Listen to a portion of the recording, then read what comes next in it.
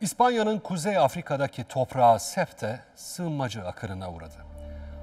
Hafta başından itibaren denizden yüzerek Sefte'ye giden Afrikalı sığınmacıların sayısı 8 bini aştı. Bunlardan en az 1500'ünün çocuk olduğu açıklandı. Bu genel manzara içerisinde şu tek kare fotoğraf aslında yaşanan dramın boyutunu anlatmaya yetiyor. Bu kareye bakıp gözü yaşarmayan, boğazı düğümlenmeyen, yüreği burkulmayan var mı acaba? Septe'de Afrika'dan gelen sığınmacıların arasında iki aylık bebeğiyle sınıra koşan bir aile de vardı. İşte o ailenin bir an için suda kaybettiği bebeğini İspanya sualtı kurtarma timinden Juan Francesco yakalamayı, son anda yakalamayı başardı. Ve o dramatik an bir gazetecinin fotoğraf makinesine işte böyle yansıdı. Önemli bir hatırlatmayla tamamlayalım. Son 10 yılda sadece Akdeniz'de 30 binden fazla sığınmacı hayatını kaybetti. Resmi kayıtlar bunların üçte birinin çocuk yaştaki mülteciler olduğunu gösteriyor. Yani son 10 yılda 10 bin civarında çocuk Akdeniz'de hayatını kaybetti. Ve siz bu haberi izlerken hala on binlerce sığınmacı kendilerine yeni bir yaşam kapısı açabilecek ülkeler için umut yolculuğuna devam ediyor. Henüz iki aylık bir bebek boğulmaktan son anda kurtarıldı. Bu fotoğraf Septe'deki sığınmacı krizinin sembolü haline geldi.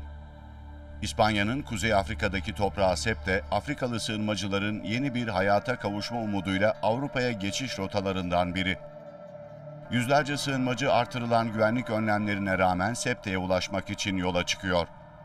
Kimi yüzerek, kimi ise yürüyerek hayatlarını riske atmak pahasına İspanya topraklarına ulaşmak için çabalıyor. İspanya sivil muhafızının paylaştığı bu fotoğrafsa bölgede yaşanan dramı gözler önüne serdi. Annesinin yüzerken sırtında taşıdığı iki aylık bebek zorlu yolculukta ölümle burun buruna geldi.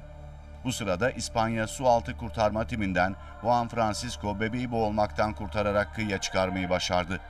Bebeğin sağlık durumunun iyi olduğu açıklandı. Bu sığınmacı çocuksa çaresizce Septe'ye ulaşmaya çalışırken su yüzeyinde kalmak için beline can yeleği yerine plastik şişeler bağladı. 13-14 yaşlarındaki sığınmacı çocuk Septe sahiline yaklaştığında karşısında İspanyol askerlerini görünce gözyaşlarına boğuldu. Askerlerin bir anlık boşluğundan yararlanan sığınmacı karaya çıktıktan sonra hızla sahili çevreleyen duvara yöneldi. Tırmanmaya başladığı sırada askerler yetişti. Güvenlik güçlerine yakalanan çocuk direndi ama başarılı olamadı. Sığınmacı çocuğu nereye götürüldüğü bilinmiyor. Septe'ye binlerce sığınmacının girmesi üzerine İspanya bölgeye çok sayıda asker sevk etti. Kıyıya ulaşabilenler askerlere yakalanmadan çitleri aşarak kaçmak için çabalıyor. İspanya Batı Sahra'nın bağımsızlığı için mücadele veren Polisario örgütünün lideri İbrahim Gali'nin ülkesinde tedavi görmesine izin verdi.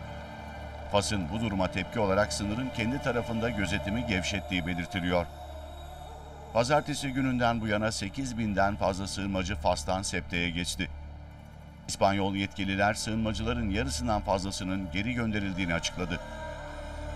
Ancak sokaklarda uyuyan, yorgun ve evsiz binlerce kişi nedeniyle Septe'nin insani krizle karşı karşıya olduğu belirtiliyor.